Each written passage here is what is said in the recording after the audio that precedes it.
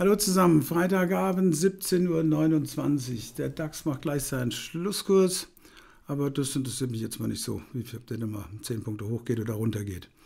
Eins vorweg, ich mache nächsten Mittwoch noch einen Film und Freitag. Nächste Woche Freitag wird es der letzte DAX-Film dem Jahr sein, das ist dann nach dem großen Verfalltermin. Und ähm, dann mache ich in der Zeit ab dem 15. bis Ende des Jahres mache ich nur Aktien.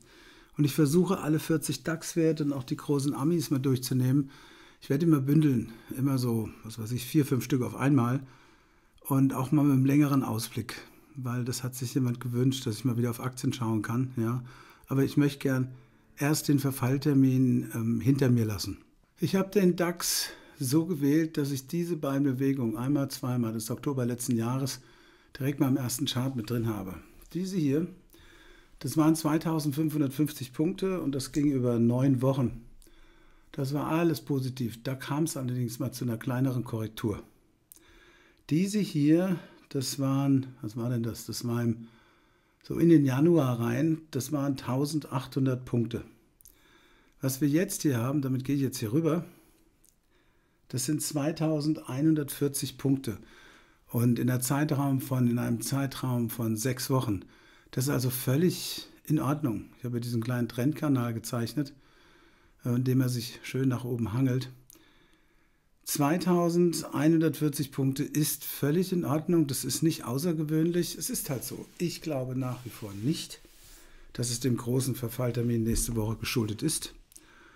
Also ich sehe das so nicht. Ich glaube, es ist ähm, A, Short-Eindeckung und B, ja, nennen wir es mal so ein bisschen so Anlagenotstand diese ganze Verdrossenheit, diese, diese Ich will nichts von Aktien hören, das wir hatten seit August, das dreht sich halt jetzt überproportional um.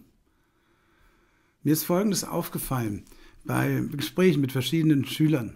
Jetzt nur mal so als Beispiel.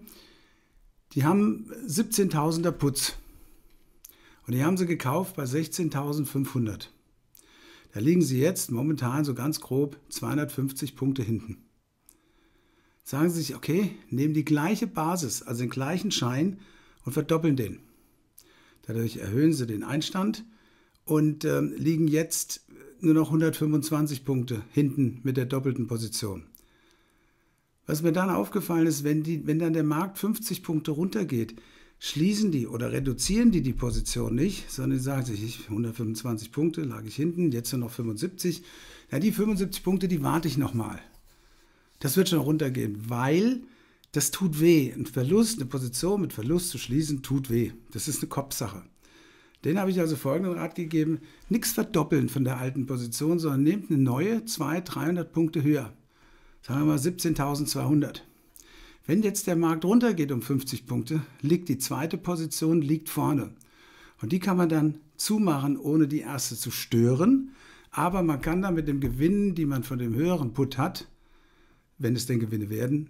Äh, mit diesen Gewinnen kann man Teile der ersten Position schließen. Ich erlebe das ganz oft, dass jemand, ähm, bleiben wir beim Beispiel, einen 17.000er Put hat und dann liegt er hinten und dann verdoppelt er genau den und dann kauft er nochmal was dazu, weil auch wenn der Markt dann mal für ihn läuft, 30, 50, 100 Punkte, die Position nicht geschlossen wird, weil das Schließen eines, eines Verlusttrades wehtut. Geht aber in euch, vielleicht ist es bei euch auch so, das ist mal ganz guter Tipp. Ich mache das also auch so, ich verdoppel Positionen ungern, also in Scheinen oder in, in, Zertifikaten. Ich nehme dann eine andere Basis, die höher weg liegt. Ich trenne die dann voneinander. Und wenn dann die eine etwas vorne liegt oder vorne liegt, dann äh, kann ich die andere reduzieren. So, mal ganz kurz zu mir, zu meinem Zeug hier. Das waren die Positionen, vom, die ich am Mittwoch gezeigt habe. Die HelloFresh, die sind raus weil da habe ich den Stopp einfach zu nah dran gezogen. Bei 15,30, das war zu nah, ärgere ich mich jetzt auch, sind sie 16, irgendwas. 16,04. Und die Bayer hatte ich auch zu knapp dran. Die waren bei 32,5, ich habe zwar 32,11 wurde ich da gestoppt. Das war zu nah dran, habe ich auch nichts mehr. Und ich ziehe nach wie vor den Stop, den ziehe ich ähm, deutlich an. Ja, ich, ich will den nicht irgendwie, ich will da nicht mehr so viel von hergeben. Deswegen tut mir mein Long Put auch nicht weh. Ja, das ist also zumindest, das geht gegen mein Ego, ja, aber es geht nicht gegen den Geldbeutel. Damit bin ich fein. Was diese Bewegung angeht, es gibt drei Möglichkeiten. Ich mit meinen Herangehensweise, ich habe es am Mittwoch schon gesagt, ich kann jetzt hier kein echtes Ziel ermitteln. Ja. Ich habe von Elliot welche gehört, ich habe von Ishimoku welche gehört, von Heikin Ashin welche gehört. Die liegen alle zwischen 16.850 und 17.200. Da liegen die. Das würde ganz gut passen mit diesem Vergleich zu dem Oktober letzten Jahres Ding mit den 2600 Punkten. Da hätten wir noch ganz grob 400 Platz. Ich sehe es nicht, aber ich sehe das auch schon seit hier unten nicht, dass der Markt so hoch gegangen ist. Ganz ehrlich. Es gibt kein Verkaufssignal. Und jetzt gehe ich mal mit euch hier auf die 10-Minuten-Einheiten, um mal was zu zeigen, wo man das vielleicht erkennen kann. Solange solche Kerzen hier, das ist also der 10-Minuten-Chart, sofort wieder überkauft werden, runter, wieder drüber, runter, wieder drüber, solange hat der Markt seinen Aufwärtsmodus. Erst wenn sich das hier ändert, diese Regel, wenn also hier eine, eine, eine weiße ist, die schwarze geht runter und das wird dann gefolgt von mehreren schwarzen, dann kann man sagen, okay, vielleicht ist die Dynamik raus. Auf Stundensicht hat der Markt heute eins geliefert und zwar, wo war er denn jetzt? Hier, dieser Bereich hier. Fünf, sagen wir mal 16.590.